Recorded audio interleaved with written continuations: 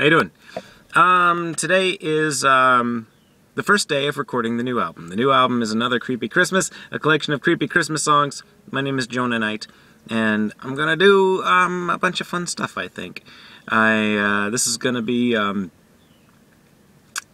ten tracks total, and I think that five, six or seven of them are actually covers, the traditional Christmas songs, or my take on them.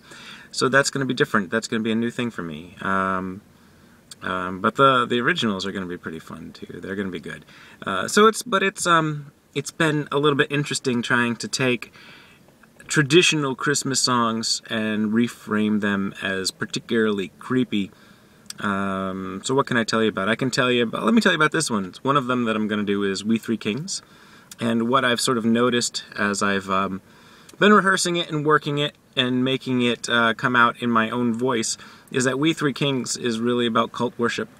Um, that's what it was at the time. So it's not so big of a stretch to take a couple of the lyrics and tweak them just a little bit, just a little bit, and all of a sudden it's about uh, Cthulhu worshippers. So that's that's what's happening with We Three Kings.